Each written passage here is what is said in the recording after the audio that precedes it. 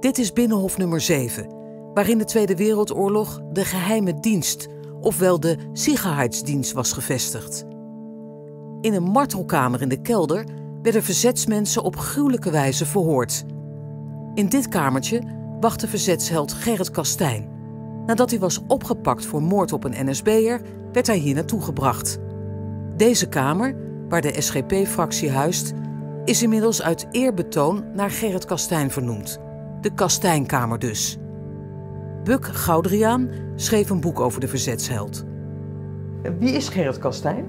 Het belangrijkste is om te herdenken als een communistische verzetsman die voor veel communisten een grote inspirator geweest is om tegen de Duitsers in het verzet te treden.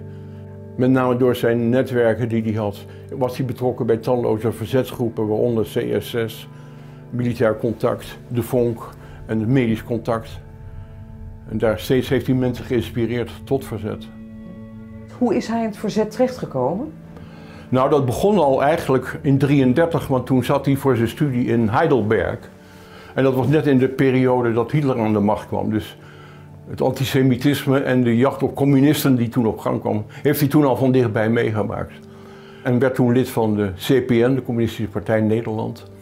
Nou, was toen al communist en is dat gebleven. En communist nogal in de traditionele marxistische zin, een uh, zeer overtuigende marxist, streng in de leer. En voor welke verzetsdaden is hij verantwoordelijk? Wat heeft hij gedaan?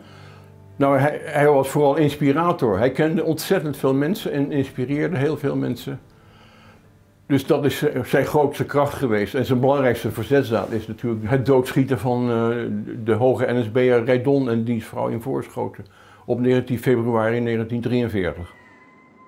Nou is hij uiteindelijk opgepakt, gearresteerd op 19 februari 1943 Ja. door de Duitsers. Hè? Door wie is hij verraden? Is dat ooit bekend geworden? Ja, dat is bekend geworden. Uh, hij kende ontzettend veel mensen. Hij had met iemand die hij al kende een afspraak. En die man die werd in Utrecht gearresteerd in een reeks van arrestaties.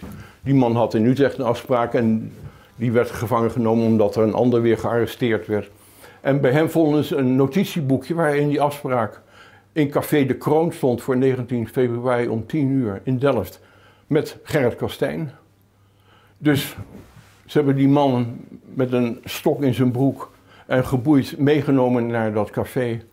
En daar aan een tafeltje gezet. En om 10 uur kwam Kastijn binnenlopen voor die afspraak en werd meteen gearresteerd. Uiteindelijk zijn ze dus hier en is hij in deze kamer terechtgekomen om verhoord te worden.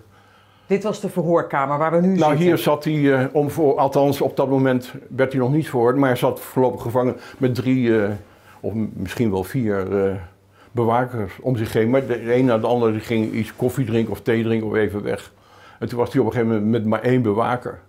En wat is er toen in deze kamer gebeurd?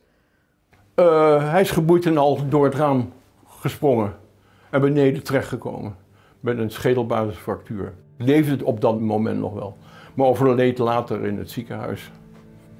En hij wist dat als hij gevangen genomen zou worden, dat het heel moeilijk zou worden om te ontkennen wat hij gedaan had.